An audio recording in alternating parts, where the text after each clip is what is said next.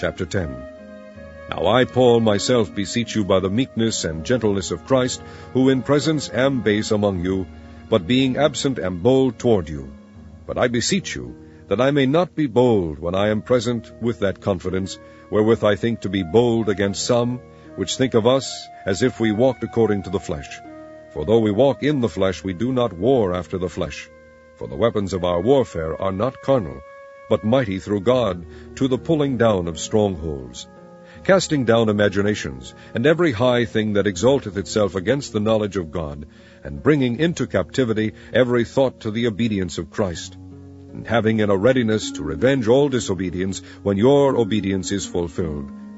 Do ye look on things after the outward appearance?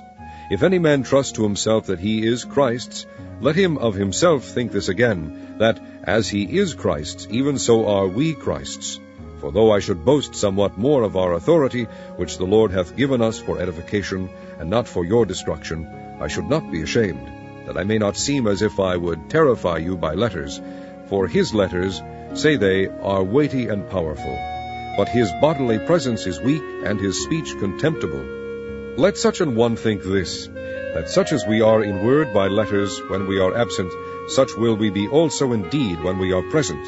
For we dare not make ourselves of the number, or compare ourselves with some that commend themselves, but they measuring themselves by themselves, and comparing themselves among themselves, are not wise. But we will not boast of things without our measure, but according to the measure of the rule which God hath distributed to us, a measure to reach even unto you.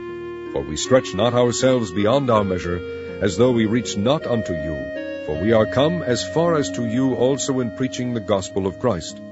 Not boasting of things without our measure, that is, of other men's labors, but having hope, when your faith is increased, that we shall be enlarged by you according to our rule abundantly, to preach the gospel in the regions beyond you, and not to boast in another man's line of things made ready to our hand. But he that glorieth, let him glory in the Lord.